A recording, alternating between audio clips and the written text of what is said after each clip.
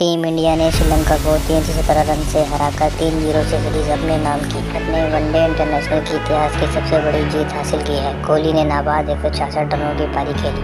वहीं शुभमन गिल ने भी श्रीलंकाई गेंदबाज की दुराई करते हुए उसे सोलह रन बना दिए